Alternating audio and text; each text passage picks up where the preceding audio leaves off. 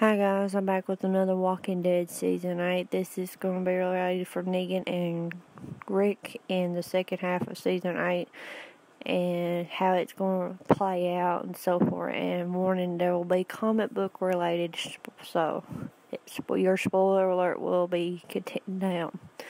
In the comics, Rick has he's his main focus is killing Negan, and at the end of it, he changes his mind and not kill him because there's a big end of the battle. This ends the war. Negan and Rick talks at the hilltop. Ne- Rick slits Negan's throat, and Rick Negan turns around and injures Rick's leg. And everybody wanted to leave Negan to dead, but Rick told him to take care of him, and that's how Negan survived after the war, and throws him in jail.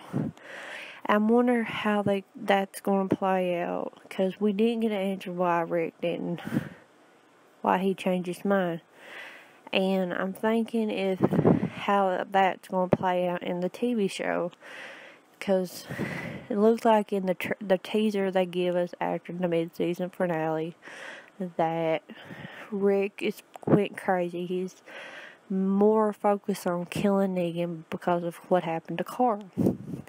I wonder if there's a thing that what Carl says before he dies to tell Rick, and maybe Rick realized that closer to the probably closer to the end of season eight is Carl's method. What what what Carl says to him will change Rick's personality not to kill Negan.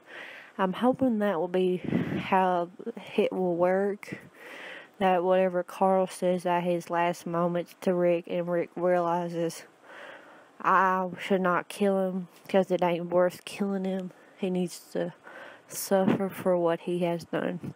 I'm hoping that will be true. If that they play out that out right, that will be amazing work how they do it.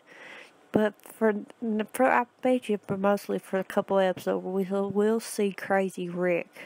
Rick will have his motive to kill anybody he gets a hold of, like with Saviors, like, or he tries to focus on how to kill Negan, how to get Negan, and some other Saviors in the process. But yeah, I'm thinking we'll see that, and then maybe realize it ain't worth killing people at the end of it. So, yeah, leave your comments below, and I'll talk to you guys in my next video.